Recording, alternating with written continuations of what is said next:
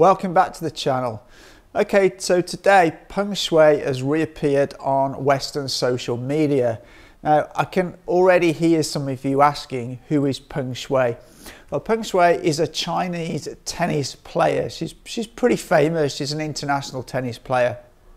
Um, and from what I understand, she, she's pretty good.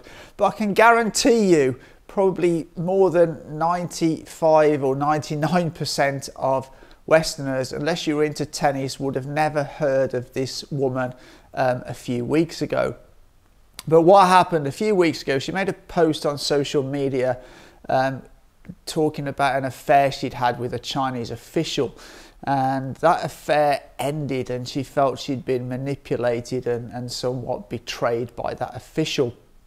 But now, had this have been a tennis star from Europe, America, or England, nobody really probably would have paid that much attention.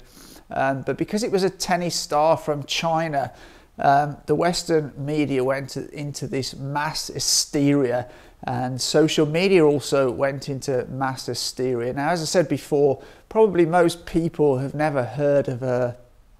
Um, but you know, you had every Tom, Dick, and Harry on Western social media sort of tweeting about this with the hashtag of, you know, where's Peng Shuai? Because basically, after she did that tweet, the, the tweet was removed from Chinese social media, but she asked for some privacy. She was obviously upset about the situation. She asked for some privacy. But that was not good enough for Western press and, and, and, and Western social media users. They wanted, they wanted answers, you know, they, they, they, they demanded um, statements from her. But the poor woman just, just couldn't win. Um, you know, if she didn't speak, she'd been silenced by the Chinese government. If she didn't appear in public, uh, oh, she'd been disappeared or locked in jail.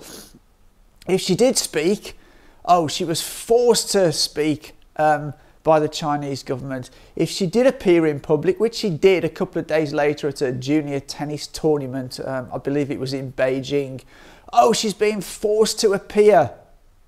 You know, that it's just absolutely ridiculous.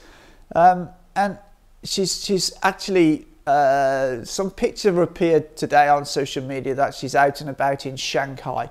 And she's also made a statement that people misrepresented her original post. And a lot of the media in the West and on social media in the West, they said, oh, she says she'd been um, sexually assaulted or, or raped. And that actually wasn't the case at all, from what I understand. Now, I don't speak Chinese, but I've spoken to a number of Chinese people about this.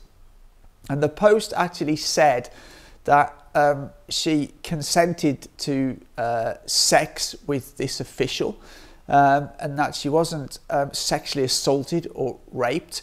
And she's actually uh, verified, you know, um, not verified, but she's actually confirmed that today.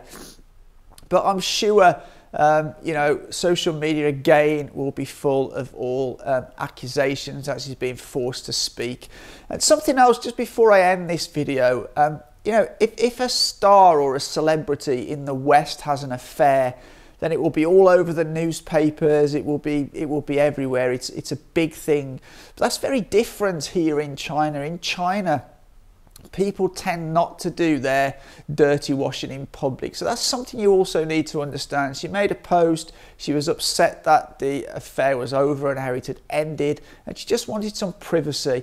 But oh no, that, that was just not good enough for, for Western social medias, especially Western media. You know, it, it it all flared up for about seven to 10 days, then it disappeared, but I'm sure it will all flare up again today. Anyway, let me know what you think in the comments down below. But as always, always don't, don't just read the headlines, check the facts and do your research. But as always, for now, take care.